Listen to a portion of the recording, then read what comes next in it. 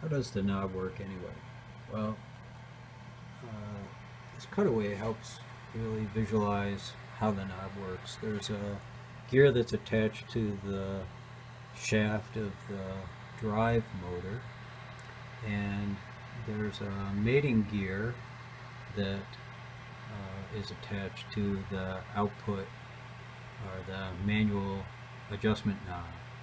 So spring loaded, Uh, we pull the knob out which engages the gear which allows us to drive the motor through the gear train to the output shaft and make an adjustment to the pump.